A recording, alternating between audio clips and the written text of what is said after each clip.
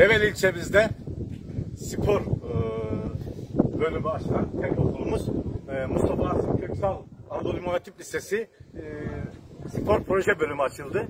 Ülkemizde artık genç yetenekleri e, genç yaşta yönlendirmek amacıyla e, Milli Eğitim Bakanlığımız spor liseleri ya da liselerde spor bölümlerini açmaya başladı.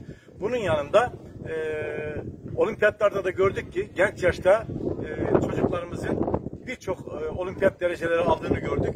Bunların da spor ortaokulları e, destekleyeceğini düşünerekten ilçemizde de bu spor proje okulunun bölümünün dışında bir de e, spor e, ortaokullarının açılması bekleniyor. Tabii ki bu okulların e, ne gibi e, avantajları var? erken yaşta yetenekleri tespit ettikleri için bunların her alanda kayakta artık bölgemiz bir kayak merkezi oldu. Dağcılıkta, tekvandoda, halterde, cross'ta, futbolda, voleybolda, basketbolda her alanda e, elemanlar yetiştiriliyor. İşte e, buradan mezun olanlar, bu liselerden mezun olanlar askeri ve po- polis okullarına e, girerken öncelik tanınıyor.